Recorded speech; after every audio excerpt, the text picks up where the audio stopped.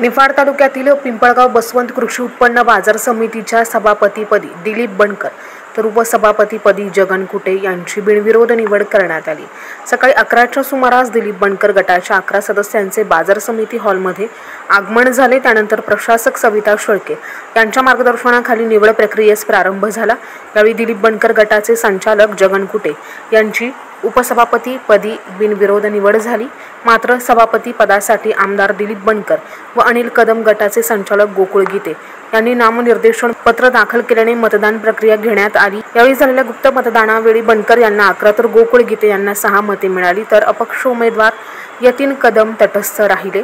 दरम्यान यावेळी पोलीस निरीक्षक अशोक पवार यांच्या मार्गदर्शनाखाली सहाय्यक पोलीस निरीक्षक कुणाल सपकाळे यांनी चोख बंदोबस्त ठेवला होता. एनसन प्रतिनिधी तुषार झेंडफळे बळगाव बसवंत.